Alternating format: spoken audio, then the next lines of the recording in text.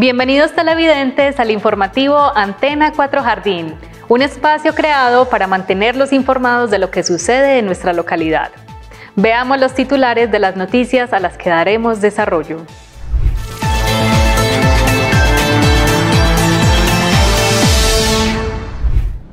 La Administración Municipal presentó proyecto de acuerdo al Consejo para que se incrementen los subsidios a los estratos 1, 2 y 3 en servicios públicos. El Instituto Colombiano de Bienestar Familiar presentó la rendición de cuentas en el municipio de Jardín para la zona del suroeste. Personal de salud del municipio de Jardín llevó a cabo la celebración de la Semana Andina, espacio para la prevención de embarazos en adolescentes. Otra de las campañas que se adelantó durante la semana fue la prevención de la explotación sexual en niños, niñas y adolescentes. Personal de la Seccional de Salud de Antioquia trabaja para la prevención de la tuberculosis en Jardín. Espere la medida que implementará la empresa de servicios públicos de Jardín para las personas que no separen adecuadamente sus residuos. En los deportes tenemos la participación de Jardín en los Juegos Administrativos. En la información cultural traemos la campaña Juiciosito que se adelanta en la institución educativa San Antonio, sede Jael Peláez. Además, espere detalles del nuevo lanzamiento de Julián López, artista de Pereira que visitó nuestra localidad.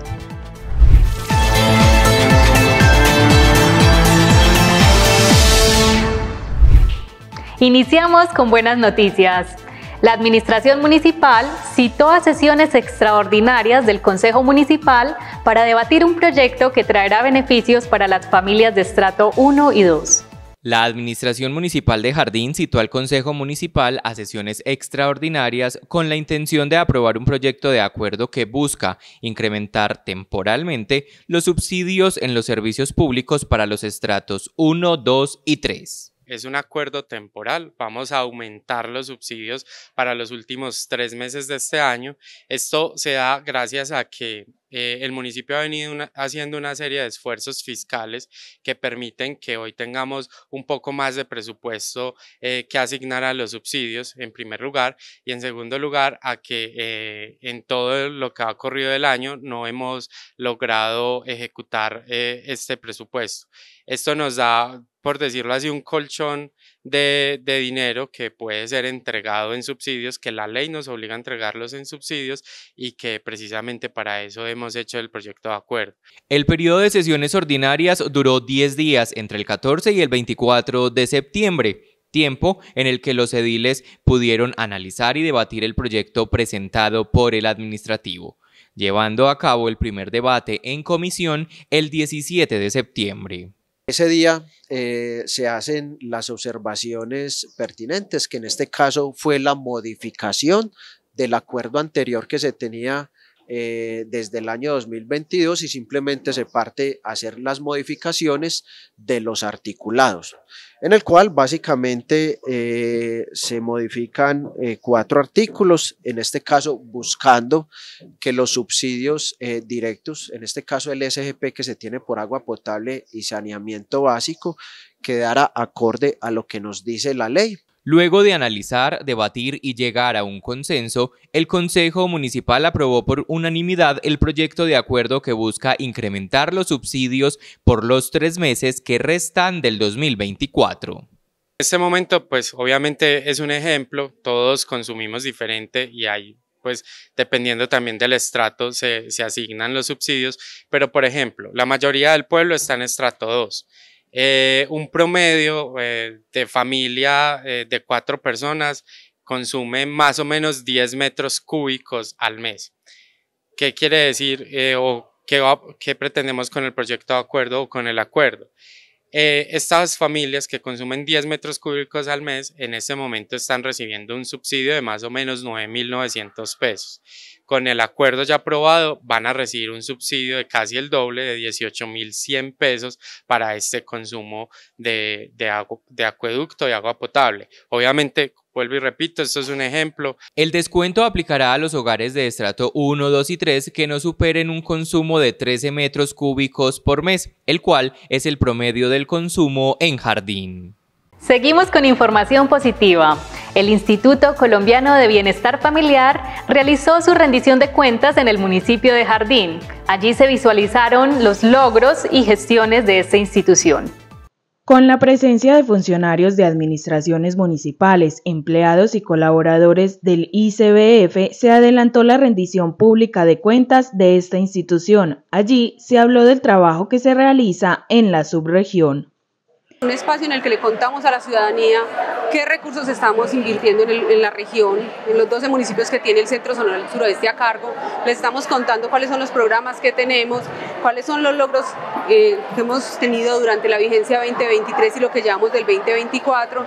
Y muy importante, le estamos mostrando con nuestros aliados los operadores cómo estamos desarrollando las estrategias para prevenir la malnutrición, que fue el tema que eligió la ciudadanía como tema a reforzar en este espacio. El ICBF en el suroeste antioqueño tiene para la atención en la primera instancia programas como CDI, Centros de Desarrollo Infantil en Medio Familiar y Hogares Infantiles.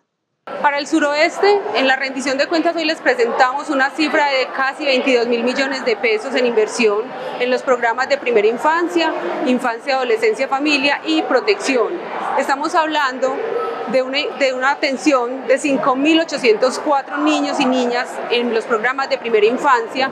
Estamos hablando de 1.900 niños y niñas, adolescentes y familias en la estrategia Atrapa Sueños y 167 niños, adolescentes y jóvenes en protección. Desde el programa de hogares tradicionales y FAMI se adelantan atenciones integrales a las familias del territorio, además de atender a niños y niñas desde los 18 meses hasta los 5 años.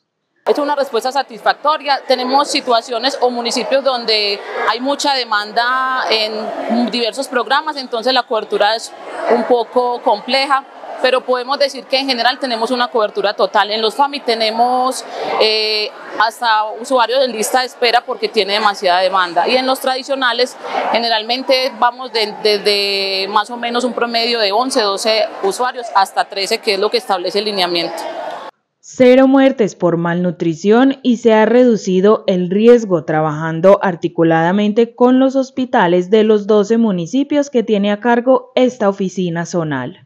Durante los últimos días se realizó la celebración de la Semana Andina con espacios que buscan la prevención del embarazo en adolescentes. Veamos el balance. Con charlas, dinámicas y espacios para el diálogo, se adelantó la Semana Andina, cuyo objetivo principal es crear conciencia y reflexión frente a los diferentes determinantes sociales que influyen en los embarazos en adolescentes.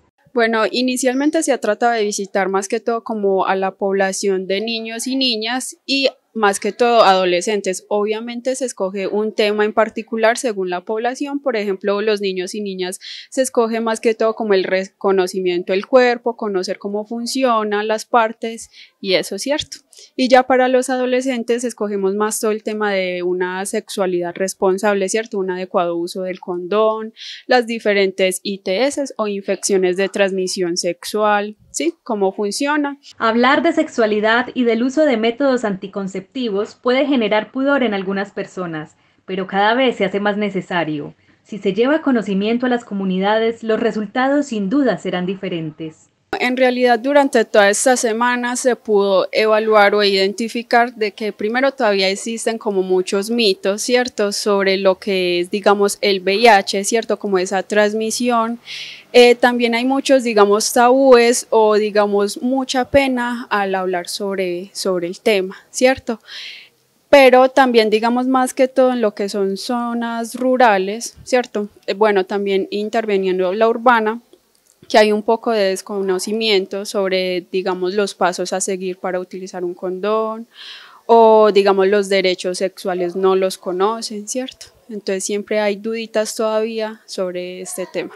El poder de hablar de sexualidad, de responsabilidad y de métodos anticonceptivos lleva a que las personas estén informadas y puedan tomar decisiones acertadas con lo que quieren para sus vidas pareció un espacio bastante educativo, o sea, aunque yo ya sabía algunas cosas, pues igual la gente se informa mucho sobre cómo cuidarse y cómo prevenir infecciones y enfermedades. Habían algunas cosas que yo personalmente no sabía y pues que me sirvieron mucho porque para evitar muchas cosas, enfermedades. Vemos una sociedad donde en la televisión, en el internet, en todas partes, a los muchachos los están bombardeando con un montón de contenidos muchas veces dañinos y ellos no tienen casi conocimiento, entonces es muy importante que desde el hospital, de la alcaldía, hagan estas iniciativas para educar pues, a nuestra juventud.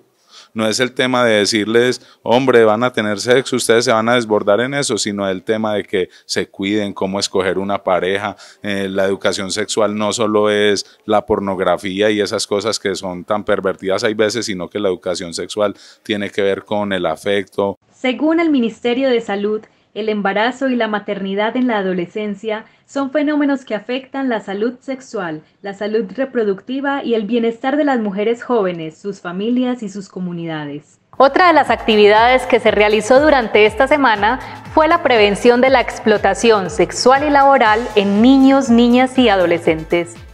El 23 de septiembre se conmemora el Día Internacional de la Prevención de la Explotación Sexual Comercial de Niños, Niñas y Adolescentes. En Jardín se adelantaron diversas actividades, una de ellas un desfile por las calles aledañas al parque. En el marco de la semana en contra de lo que es la explotación sexual y comercial de los niños, queremos decir que turismo sexual como tal no existe. El cuerpo de nuestros niños, niñas y adolescentes no son un destino turístico por lo tanto, nosotros como una población jardineña que tenemos una vocación altamente turística, estamos invitados a estar atentos al cuidado de nuestros niños, que no seamos ajenos a que estas situaciones pueden darse en nuestro municipio y como institución tenemos que estar alerta a prevenirlas y a garantizar que nuestros niños, niñas y adolescentes no caigan en estas redes de personas inescrupulosas que quieren llegar a nuestro municipio a abusar de nuestros niños. Durante la última semana en Jardín se adelantaron charlas y capacitaciones para llevar el mensaje a la institucionalidad. La jornada también incluyó la participación de la Policía Nacional. El mensaje es proteger nuestros niños, niñas y adolescentes de cualquier clase de situación que se nos presente, sea explotación sensual, sea trabajo forzado. Le pedimos por favor que avisen, den a la persona que más tengan confianza de que se están vulnerando sus derechos de pronto los niños a veces se, como te dijera, se, se ponen nerviosos, se intimidan porque les da miedo, porque no les van a creer. Entonces les pedimos que le digan a las personas más cercanas, que le tengan más confianza, se pueden acercar a la Policía Nacional, eh, a la Fiscalía, para la administración local, el balance que deja el trabajo realizado durante la semana es positivo, pues quienes participaron de los espacios formativos aseguraron estar comprometidos para que este delito no se presente en la localidad. Estamos muy agradecidos, tenemos un parte de tranquilidad de saber que toda la institucionalidad está comprometida por velar por los derechos de nuestros niños, niñas y adolescentes, que están pendientes de ese trabajo en equipo, de manera articulada, con la Comisaría de Familia, con la Policía Nacional, con el hospital, con las instituciones educativas. Eso que nos va a permitir que todos nos volvamos vigilantes y garantes de nuestros niños. Eso va a evitar que se puedan presentar situaciones o que si se llegan a presentar las conozcamos y las podamos atender a tiempo, porque la comunidad está educada, está comprometida, entonces eso nos da un parte de tranquilidad y muy favorable. La celebración de este día se da desde 1999, cuando la Conferencia Mundial de la Coalición contra el Tráfico de Personas llegó a la conclusión de que no solo las mujeres eran objeto de explotación. Ahora veamos el trabajo que se adelanta en la Oficina de Víctimas del municipio de Jardín, un espacio que está abierto para todos. La Ley 1448, Política Pública de Víctimas, obliga a las administraciones municipales a tener un personal y espacio para la atención y asesoría de esta población.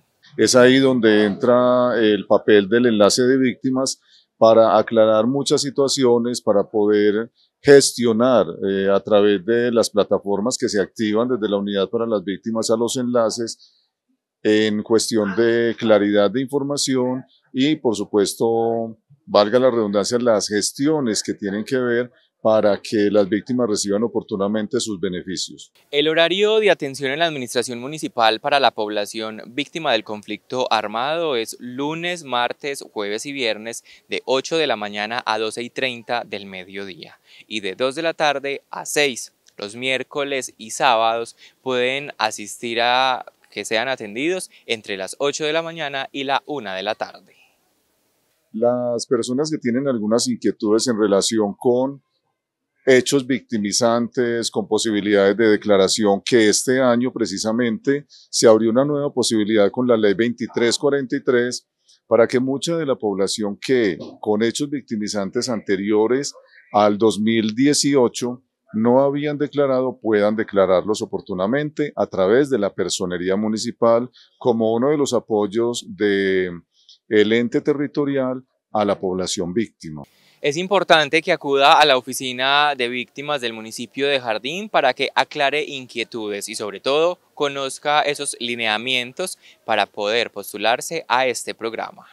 La declaración es el inicio de ese proceso para ser reconocido como víctima, como población víctima en el territorio y tanto los hechos que hayan ocurrido antes del 2018 como los hechos actuales a partir de ese mismo 2018 tienen una posibilidad de declararse eh, durante este año y los nuevos tienen tres años para ser declarados ante personería. El ente público es el encargado de recibir estas declaraciones, remitirlas oportunamente a la unidad para las víctimas para su análisis y correspondiente inclusión o rechazo en el registro único de víctimas. En el municipio de Jardín, el enlace de víctimas trabaja articuladamente con las instituciones descentralizadas y también con la personería municipal. Todo esto para garantizar una óptima atención de esta población.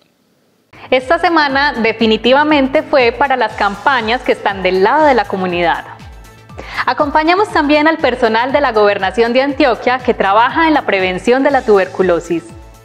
La tuberculosis es una enfermedad pulmonar y que es prevenible. En Colombia se trata de manera gratuita. Su propagación es cada vez mayor y por eso desde la Seccional de Salud de Antioquia se adelantan estrategias para controlarla. De esta forma queremos como educar a las personas para que de pronto así tengan cualquier otro síntoma alarmante acerca de esta enfermedad, acudan a un centro de salud para evitar que esto se nos vuelva de pronto como una pandemia o algo que se nos salga de control, ya que muchas personas no informan por miedo a ser rechazadas o a ser excluidas como anteriormente esta enfermedad tenía tantos mitos eh, de que tenía que ser eh, un aislamiento total y obviamente es contagiosa, pero con cuidados podemos sacar adelante la enfermedad. La estrategia en la actualidad se adelanta con poblaciones vulnerables, como lo son los niños, adolescentes y adultos mayores, a quienes se les habla de la prevención y síntomas. Esos signos de alarma mm, son una tos persistente con expectoración o sin expectoración,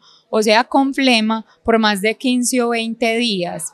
Eh, altas temperaturas, sudoración nocturna. Cuando la tuberculosis está en un alto nivel avanzada, eh, la flema eh, suele salir como con partículas de sangre. Eh, como les decía, sudoración nocturna, la persona empieza a perder el apetito y a bajar considerablemente de peso. Las personas más vulnerables a esa enfermedad son niños menores de 5 años, adultos mayores de 65 años, mujeres embarazadas, personas con diabetes, hipertensión y VIH, por lo que tienen las defensas tan bajitas. Actualmente en Jardín hay cuatro casos de tuberculosis activos, por lo que llevar esta información a la población es necesario.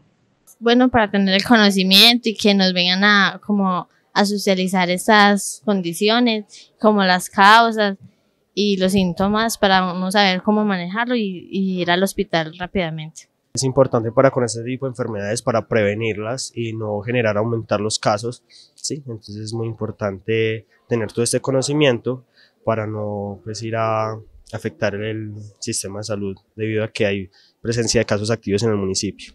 Esta estrategia de educación se adelanta en la actualidad desde la gobernación de Antioquia y lleva espacios a instituciones educativas, grupos de adulto mayor o encuentros conjuntas de acción comunal. Como se los hemos contado en otras ocasiones, la empresa de servicios públicos de Jardín trabaja para mantener el municipio limpio y para que hagamos una adecuada separación de los residuos. A partir de la otra semana se implementará una nueva estrategia para que seamos más juiciosos desde casa.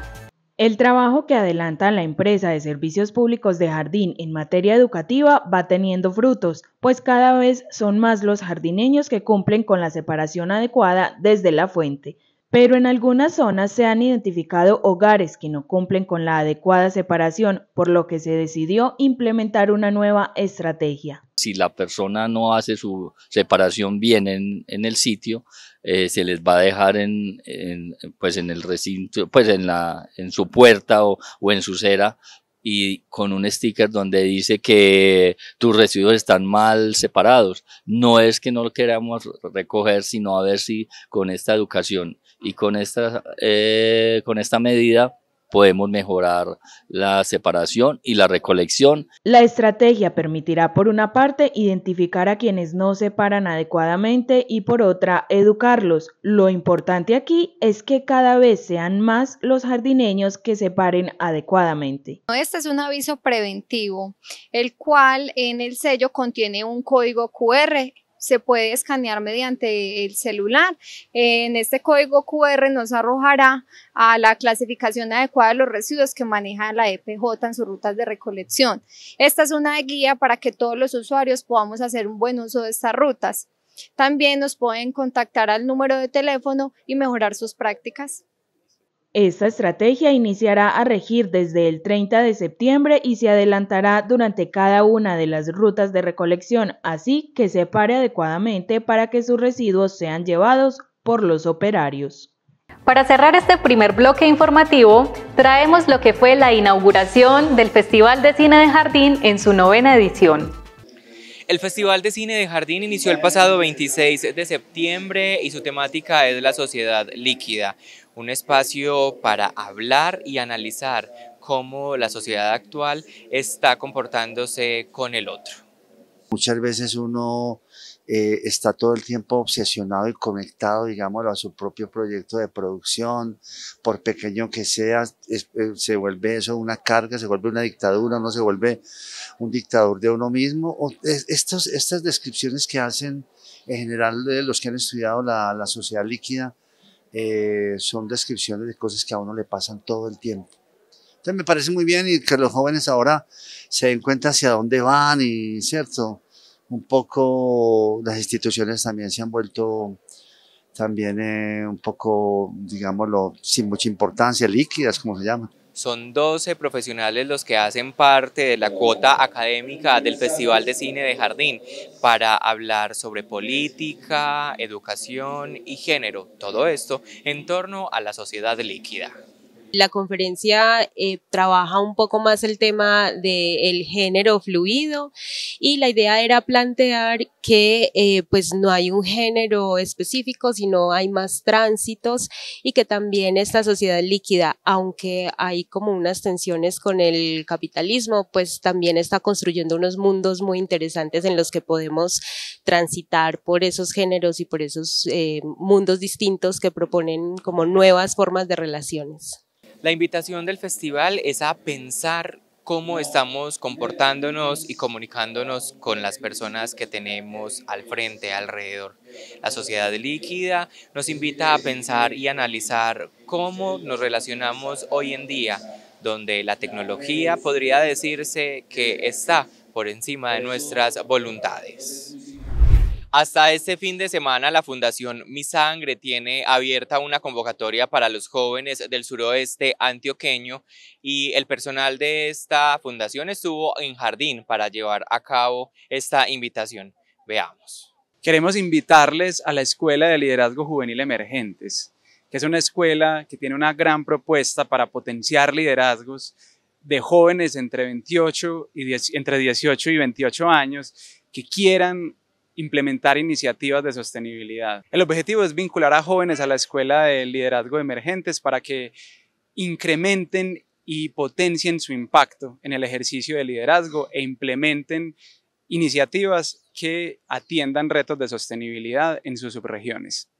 Esta estrategia de formación tiene una modalidad mixta. Habrá encuentros presenciales y otros virtuales. La metodología pedagógica es atractiva para todo el público. Los jóvenes pueden conocer más de este proceso en fundacionmisangre.org y tienen plazo hasta mañana, 29 de septiembre, 11 y 59 de la noche para que se inscriban. Es una gran oportunidad, no la dejen pasar, aprovechen el fin de semana. Jóvenes entre los 18 y los 28 años de edad, que sean de la subregión de suroeste, que tengan procesos y trayectoria en liderazgo, que crean en el poder transformador de las juventudes y que además estén dispuestos y dispuestas a implementar iniciativas sobre la sostenibilidad en su subregión. Ya saben entonces, tienen hasta mañana 29 de septiembre para realizar el proceso de inscripción a través del portal web de Mi Sangre. Importante que los jóvenes de jardín participen de esta estrategia y puedan lograr obtener uno de los cupos para ejecutar una de las estrategias con los recursos que tienen establecidos estas iniciativas.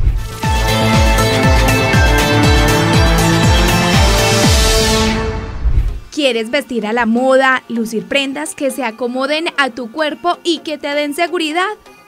En Mall Jeans encontrarás exclusividad, elegancia y estilo. Déjanos asesorarte. Tenemos gran variedad en jeans para dama y caballeros, camisas, camisetas, blusas, chaquetas, ropa interior y accesorios para todos los gustos. Contamos con diferentes métodos de pago y plan Separe. Visítanos, estamos ubicados a media cuadra del Parque Principal de Jardín y en Santa Rita. Mall Jeans, atrévete, vive e innova. Señor usuario, ¿le gustaría participar en la rifa de tres televisores de 40 pulgadas? Es muy fácil. Responda a las encuestas que se adjuntan con la factura de acueducto y alcantarillado de este mes y deposítelas en los buzones ubicados en la oficina de Ingeniería Total o en otros sitios de recaudo. El sorteo lo realizaremos durante la conmemoración del Día Panamericano del Agua. Ingeniería Total. Agua de la llave, potable y saludable.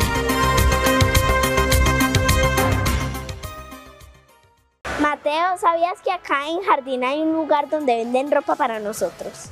Yo no sabía. Vamos, yo te lo muestro. Bienvenidos a Moltins, lugar donde tenemos prendas para niños, niñas y adolescentes. Tenemos camisas, camisetas, jeans, ropa interior, gorras, accesorios, bolsos, chalecos y chaquetas. Manejamos tallas a partir de la 4-6 hasta la 18. Mami, la ropa de Montis me encanta. Visítanos para que conozcan nuestra gran variedad en prendas. En Moltins vestimos el futuro. Ritmo Hit está nuevamente en las pantallas de Antena 4. Te esperamos todos los miércoles a las 3 de la tarde en nuestro canal para participar de un programa donde beneficiaremos nuestra parte física, emocional y espiritual. Así que te esperamos, porque en Antena 4 aquí nos vemos. En Mall Fashion encontrarás calzado nacional e importado para toda la familia. Visítanos en la calle 8 Páez 418 de Jardín para que conozcas nuestro amplio surtido en sandalias, botines, plataformas, zapatos clásicos, tenis, gorras, correas, morrales y carteras. Contamos con gran variedad de estilos para que te antojes y también manejamos plan Separe. Además, tenemos descuentos del 20% en algunas referencias. Visítanos y déjanos asesorarte para que calces a la moda y con referencias de calidad. Mall Fashion, una historia en cada paso.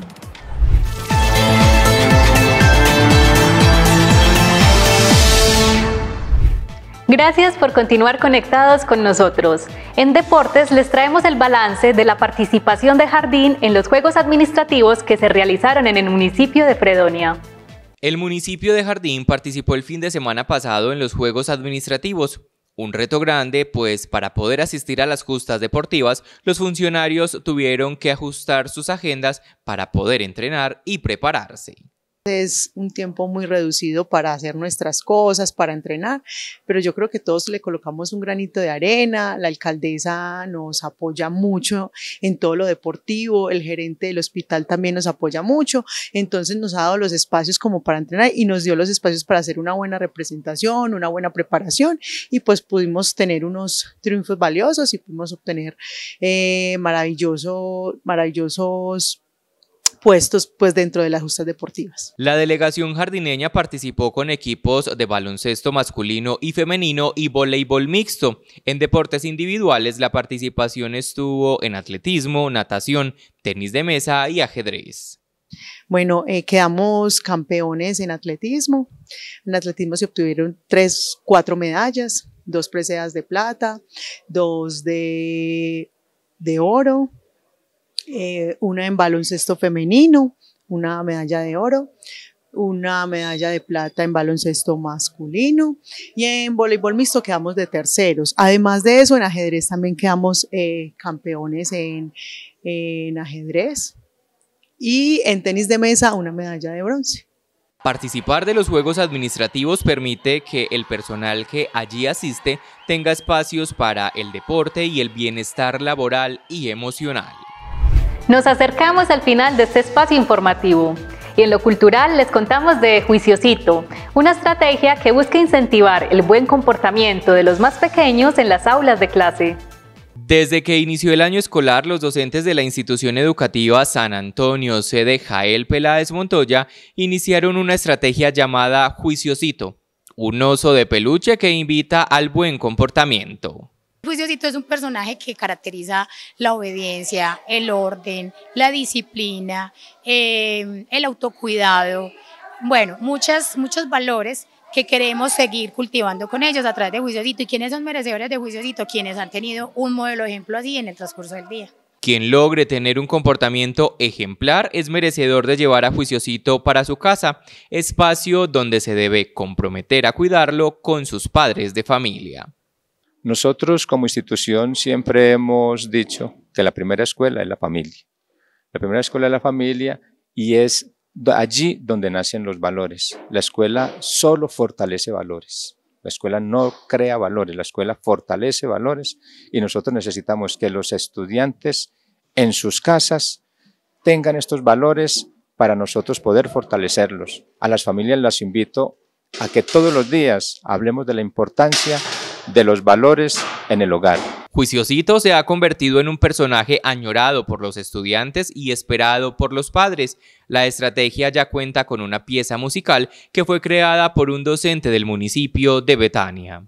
Lo que quise por expresar en la canción es todo el sentir de la profe Erika, que, que, decía, profe, es que yo quiero que ellos hagan esto, que ellos esto, que ellos aquello, que mejoren en esto. Yo listo, vamos a plasmarlo y vamos a plasmarlo de una forma que sea algo muy lúdico, pero también que sea muy repetitivo para que se les quede, ¿cierto? El coro, todos pueden ser como yo, los invita a eso. Muchachos, ustedes pueden ser como yo, eh, podemos ser todos juiciositos. Es como, como esa la invitación y más también como la forma de, de crear eh, esta canción.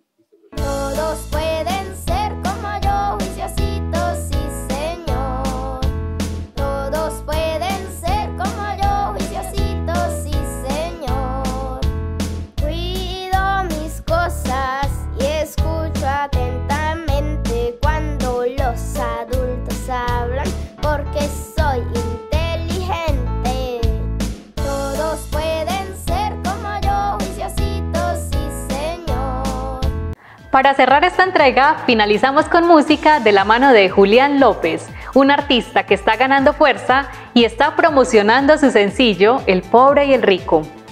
Julián López es un artista de la ciudad de Pereira con 15 años de trayectoria. Este artista pasó de manejar taxi en las calles de su ciudad a conformar un grupo y así buscar incursionar en la música popular. Es un poco difícil porque acoplarse a la industria musical siempre va a ser complicado, pero es muy bonito porque comparte uno con la gente. Y recuerdo que nosotros no cobrábamos por cantar, nos íbamos de bar en bar, de discoteca en discoteca, ofrecíamos nuestro show. Si nos dejaban cantar para nosotros era felicidad, entonces íbamos y cantábamos pero ya empezamos a ver que no estamos sacando mucha plata del bolsillo y no tenemos que hacer esto productivo y nos pusimos a hacer música pero comercialmente para poder trabajar en estos establecimientos. Este artista visitó el suroeste antioqueño para promocionar su nuevo sencillo. Estamos promocionando una canción maravillosa, una canción que le hicimos a la gente porque todos hemos tenido en algún momento esa vivencia, todos hemos tenido la oportunidad de estar bien y tener muchos amigos y estar mal y quedar solos. Entonces quisimos hacerle esa, esa historia a la gente, no para, para hacer, hacerle el feo al que está rico, o hacerle el feo al que está mal. No, es para evocar esa historia y llevarlo a una realidad y, y, contársela a la gente a través de la música.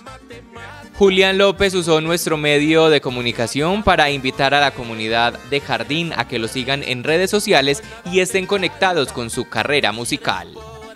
Pueden seguirme en Instagram como arroba Julián López Cantante, en Facebook como Julián López y en mi canal de YouTube la invitación para que se suscriban, activen la campanita Julián López.